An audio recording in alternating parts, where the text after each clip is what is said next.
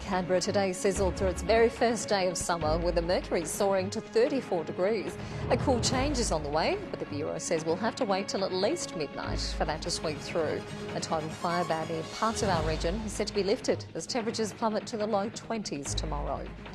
A happy ending for an 87 year old woman who had her mobility scooter and jewellery stolen by heartless thieves. Police have recovered the loot and today handed it back to Teal, her very relieved granddaughter. She's thanked social media users who triggered the breakthrough, with two people now set to be charged.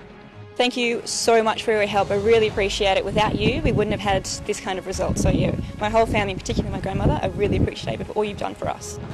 And the Brumbies have unveiled their new look strip for the 2016 season. It's predominantly blue and will bring to an end a basic design that has been used for two decades. More for you soon.